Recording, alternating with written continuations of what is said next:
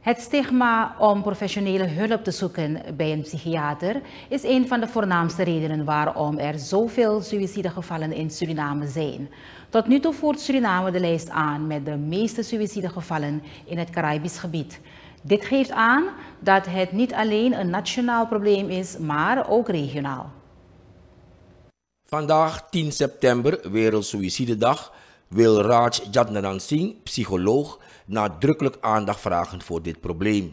Hij benadrukt dat alle actoren binnen volksgezondheid het suïcidevraagstuk als een nationaal vraagstuk moeten benaderen, zodat het integraal en structureel opgelost kan worden. Suriname scoort uh, de laatste gegevens van een aantal jaar geleden. Daarna is er nog niet echt een degelijk onderzoek geweest om te kijken als het is gestegen of gedaald. Hoor.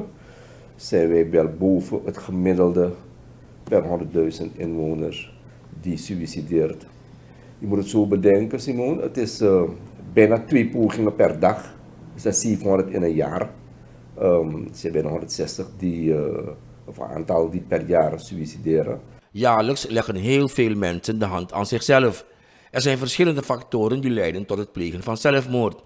Het thema van dit jaar is Creating Hope Through Action. Hiermee wil de WHO aan alle landen vragen om mogelijkheden te scheppen zodat er hulp geboden kan worden aan mensen die met suïcidegedachten rondlopen. Jatnan Singh benadrukt dat zelfmoord geen oplossing van je problemen moet zijn. Verscheidenheid aan, aan problemen kunnen, kunnen mensen tot dat soort gedachten drijven.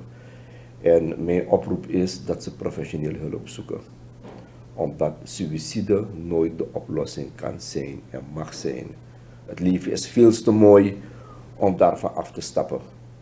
En we zijn met een team van een, uh, een goed team aan uh, behandelaren in, uh, in Suriname, zowel bij PCS als daarbuiten. Er zijn nog psychologen, maatschappelijk werkers, orthopedagogen.